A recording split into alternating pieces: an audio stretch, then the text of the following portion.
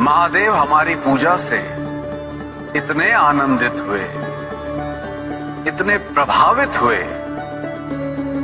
कि निस्संदेह उन्हें तत्पुरुष समुदाय की पूजा विधि सबसे अधिक प्रिय है। नहीं नहीं, देवराज। आप महादेव की प्रसन्नता देख पाते जब हमने उनका अभिषेक किया था। दुग्ध की नदियाँ बहा दी थी। और आप देखिएगा, ईशान समुदाय की विधि ही उनकी पूजा अर्चना के लिए सर्वश्रेष्ठ घोषित की जाएगी। महादेव को भस्म से अधिक प्रिय कुछ भी नहीं। इसीलिए हमेशा वो भस्म रमाए रहते हैं। और हमने भी कोई कमी नहीं छोड़ी है उनको भस्म से विभूषित करने में। महादेव तो एक बेल पत्र से खींचे चले आते हैं। ये बात जगविदित है। बेल पत्र उन्हें सबसे अधिक प्रिय है। और देव समुदाय ने तो उनकी पूजा में उत्तम से भी सर्वोत्तम बेल पत्र का प्रयोग किया है। मुझे विश्वास है, महादेव को जितनी प्रसन्नता हमारी पूजा से हुई, उतनी प्रसन्नता किसी और की पूजा से नहीं हुई होगी। शांत हो जाइए।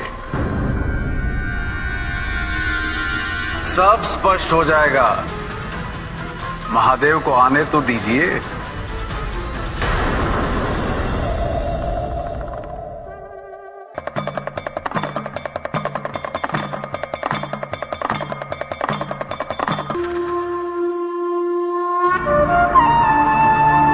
क्षमा कीजिएगा, महादेव। आपकी पूजा आरंभ ही करने वाला था कि मेरी दृष्टि इन दोनों पर पड़ी। तन ढकने के लिए वस्त्र नहीं थे। इस बालक ने कब से आहार ग्रहण नहीं किया आपको अर्पित करने के लिए मैं जो भी लाया था, मैंने इन्हें समर्पित कर दिया है। किंतु आपने इन्हें जो कुछ भी अर्पित किया, वो मुझे ही अर्पित हुआ है, नारायण। यही तो है मेरी सच्ची उपासना। संसार से दीनता, भूख और हिंसा को दूर करना। भेदभाव भी हिंसा ही है। किसी का अनादर भी हिंसा है। किसी की उपेक्षा भी हिंसा है। मेरी सच्ची उपासना है मेरे समाज में शांति और अहिंसा की स्थापना। निर्बलों की सेवा और उनका सत्कार। नारायण, आपने मेरे सभी भक्तों के लिए मेरी पूजा की सर्वोत्तम विधि प्रस्तुत करती है। और यही विधि मुझे सबसे प्रिय है। दुग्ध अर्पित करना। यदि भक्त के मन को दुग्ध की भांति निर्मल ना बनाए तो ये व्यर्थ है। यह अर्पण व्यर्थ है। क्योंकि संसार में न जाने कितने ही शिशु केवल इस भूख से अकाल मृत्यु को प्राप्त हो रहे हैं। ऐसे में दुग्ध अर्पित करने का उचित स्थान मेरा विग्रह नहीं। अभी तो वो शिशु है जो निराश्रित है और उपेक्षित है। तक इस संसार में कोई भी शिशु भूखा है? समझ लो कि मैं भूखा और मेरी शुदा तभी शांत होगी जब उस निराश्रित शिशु को आहार मिलेगा। जब तक इस संसार में कोई भी जीव व्यथित है, समझ लो कि मैं व्यथित हूँ। जब तक संसार में अन्याय और भेदभाव है, ये समझ लो कि मैं प्रतिपल पीड़ित हूँ। संसार की शांति में ही मेरे मन की शांति। पंच महाभूतों का महाभाग है जल। जल द्वारा मेरे अभिषेक से जीवनदायी जल की अवमानना नहीं होती।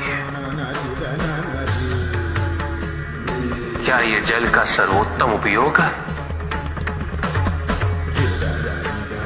क्या श्रद्धा और विश्वास को प्रकट करने के जल का अर्पण पर्याप्त है? क्या निर्जल पूजा करने से मैं मन की भावनाओं को महत्व नहीं दूँगा? जल आत्मा की संजीवनी है। असंख्य मनुष्य अजीव जन तो जल के अभाव में जीवित रहने के लिए विवश रहते न जाने कितने व्यक्ति जल की एक बूंद के लिए तिरछित रहते ऐसे में जब नदी की भांति जल मुझ पर अर्पित किया जाए, मुझे पीड़ा है जल शरीर का संचालक है। यदि मेरे भक्त इसे जीवन सुरक्षा हेतु अर्पित करेंगे, मैं तब भी मदद हो उठूँगा बेलपत्र मुझे अति प्रिय है। ये मेरा संताप हरते हैं। दतूरा मुझे प्रिय है। ये मुझे शांति देता है। किंतु यदि संसार शांति का युद्ध क्षेत्र बना रहेगा, मेरे स्वजनों के बीच सदैव महायुद्ध छिड़ा रहेगा। तो मात्र दतूरा और बेलपत्र अर्पित करने से मेरे मन को शांति कैसे मिल जाएगी?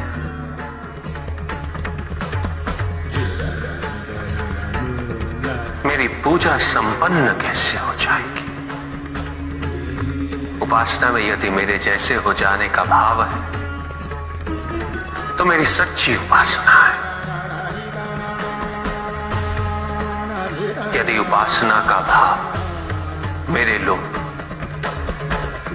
और मेरे समीप आने की कामना है तो सच्ची